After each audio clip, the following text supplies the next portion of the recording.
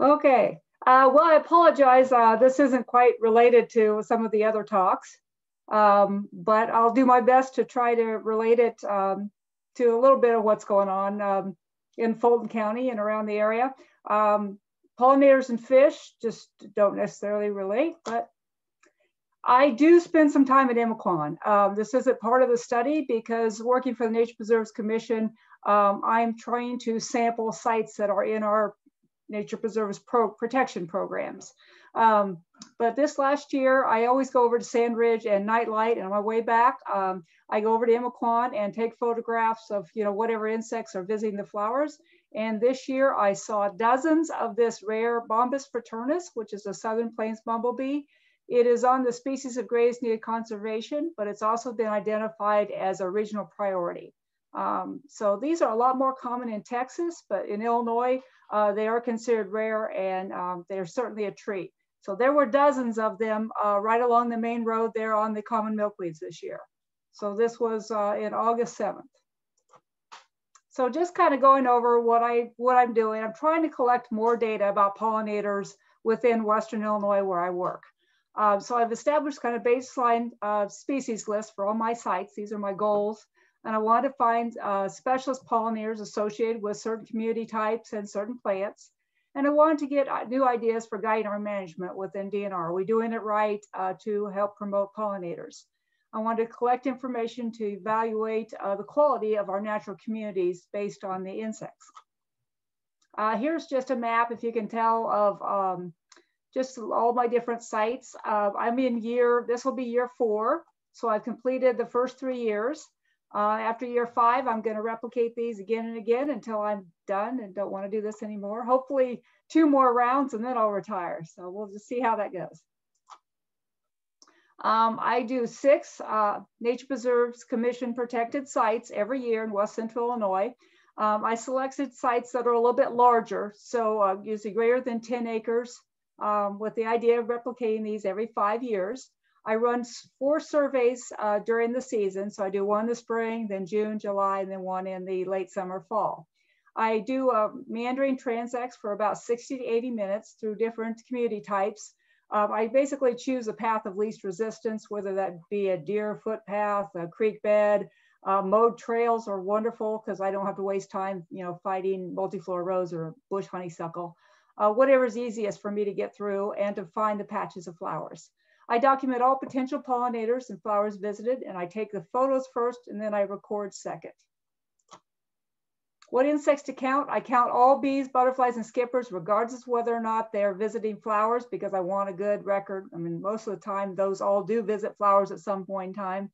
I also record all wasps, beetles, flies, moths, true bugs, and ants that had pollen on them or were associated with a uh, just usually a single species of plant or, or genus of plants uh, because I felt those might be contributing to pollination. There were a few other insects like this lacewing, uh, this weird checker beetle that wouldn't typically be considered pollinators, but I observed them with pollen all over them, so I counted them. Uh, here's just an example of my field data sheet, which is a simply a little notebook that I just kind of do chicken scratches on. I write down sometimes common names, sometimes scientific names, and how many I see and what flowers it was on. Um, and then I get back to the office and I translate all that into a formal data sheet that I can keep in my records and you know, read that. Uh, so the results for each year, uh, like I said, I've done it for three years now. And so here's the uh, number of species that I had each year. And number of new species, of course, is going down. Um, but interestingly, the number of individuals varies, of course, from year to year. Uh, this last year was a cool, wet spring, so there weren't as many pollinators out uh, in the early time. So I got a lot less. I had more flies, but interestingly, I had uh, fewer uh, individuals uh, last year than I did the year before. Also, the two years before, I did more grassland prairie areas, and I did more forests in 2020. Uh, so that probably had a little bit of difference. Uh, floral associations, I documented 209 plant species that were being visited, and I have photographed over 94% of all the insects I've documented. Not every individual, but every species, 94%. Uh, limitations on my data. I do most of this by myself, which is great with COVID, um, but I'm restricted by what I can do. I'm juggling a clipboard and a camera and occasionally a net, collection vials. Uh, that reduces my efficiency. Uh, my maximum rate for all 18 sites so far uh, has been 400 individual pollinators per hour, uh, 55 species per hour. Uh, I did have one exception where Cindy Owsley, pictured here, was helping me, and we were able to get 69 species per hour with her recording for me. So that way I had uh, my eyes up a little bit more. I wasn't writing down, and so we got 69 species. June is my best month. Uh, these rates are probably close to my maximum efficiency. I don't know that I can actually get more than that per hour. I'm not able to record the number of times I observe each insect visiting a different flower. So I record the different flowers visited by the different species of insects, and that's the best I can do. I'm most efficient when I do two surveys, two sites per day. Any more than that, I get mentally exhausted. Um, I'd like to pause my survey this year and try to do some netting, see if I can actually collect some bees and have them identified. Um, but sometimes I'm spending up to six hours driving, um, so that time is a big issue for me. Uh, just a few graphs here, just showing kind of the species diversity. Now, I'm not able to identify everything to species. In some cases, especially the bees, they're only down to uh, tribe, subgenus, things like that.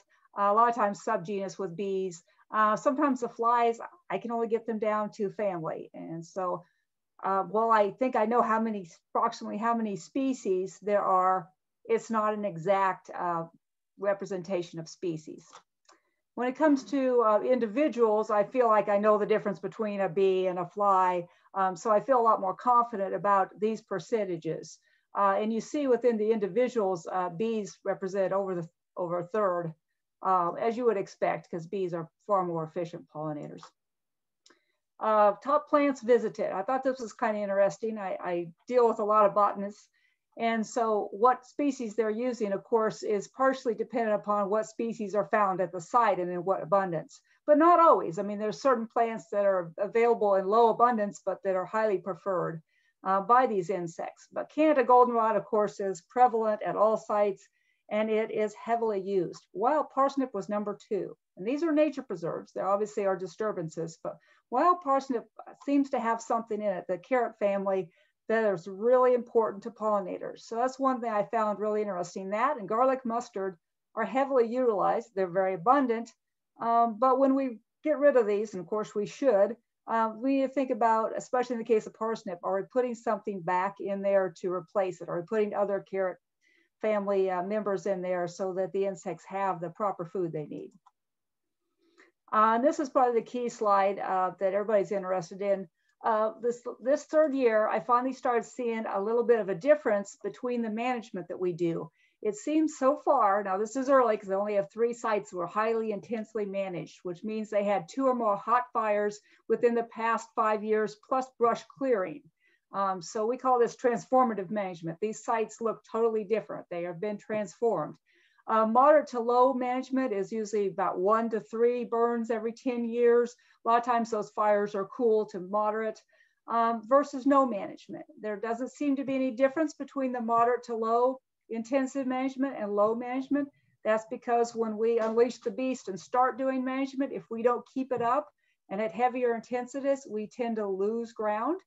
Um, if we can't keep a fire on there more than you know three times in 10 years, and those are cool fires, then we can't seem to get ahead of the bush honeysuckles and the garlic mustard.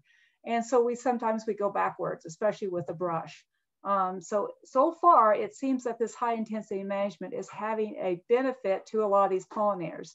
Now we'll have to wait and see, you know, what that is. All these sites are fairly rural, and so there's refugia in the area. So presumably, even if some of the pollinators are getting burned up with these fires, there is refugia, so they're able to come back in when there's more flowers after, after the burn. Uh, I also look at pollinators on listed plant species. Uh, we don't have a lot of listed uh, pollinators or insects, but we do have a lot of plants. Uh, and I wanna know, are we losing you know, some of these plants potentially because we don't have the pollinator? at least in West Central Illinois, that does not seem to be the case. Uh, we do have plenty of pollinators and they do seem to be doing their job right now. That could change, but right now I think we're okay. Um, as far as endangered and threatened species, the Great Needed Conservation Watch List insects, there are very few that are actually on the list. Of course, the monarch American bumblebee and half black bumblebee. Some of these are all species of greatest need of conservation. Um, I am finding these. Um, I'm finding them in fairly good numbers, some of them. Um, and then there's some from our proposed watch list that I'm finding good numbers, but we need to do a lot more to find out which ones might potentially be uh, endangered or threatened or things that we need to be concerned about. What I've learned, uh, diversity is good at all sites. Our nature preserves protected sites uh, are protecting, you know, remnant natural communities. And we still have a lot of good uh, insect diversity at these sites. Uh, some of the non-native plants are serving as critical foods. Um, that's kind of really interesting um, that they are getting so much visitation by these native insects. The impact of domesticated honeybees was minimal. Now that may not be the case everywhere, but at least in West Central Illinois, um, even though there's honeybees on every, almost every one of these sites, and there are some feral honeybee hives on some of these nature preserves, there doesn't seem to be a lot of competition and the potential for spread of disease um, things like that at this time. That could change, and that's why we want to document that. Uh, community associations are problematic because all the sites that I went to have more than one community type. For example, a hill prairie versus a forest. Um, the bee was looking for a particular good, you know, rich uh, nectar and pollen source, sometimes of a certain plant, sometimes not, but it doesn't care whether it's in a prairie or a forest, it will travel back and forth if it can find the plants and the resources it's looking for. So I can't necessarily say, you know, this is a prairie bee, this is a forest bee. Um, I've heard talks like that, and sometimes the things they say are forest bees are actually prairie bees. I mean, it really is problematic. So I, I just to mention again, this high intensity transformative management seems to be helping to preserve native pollinator diversity. And we really want to check on that and see if that is uh, true. Uh, if so, that could uh, really mean that we need to do a lot more of this. Um, I think uh, similar to the Boltonia decurrens, where we're kind of finding the way that we rip things up and we do better with that plant, that may be the same uh, with some of our other areas. Not we're ripping them up, but we are doing more serious disturbance to get a hold of bush honeysuckle and get a handle on some of these before they take our, our natural areas. And with that, that's all I have. I'm happy to answer any questions or you can get a hold of me for additional information.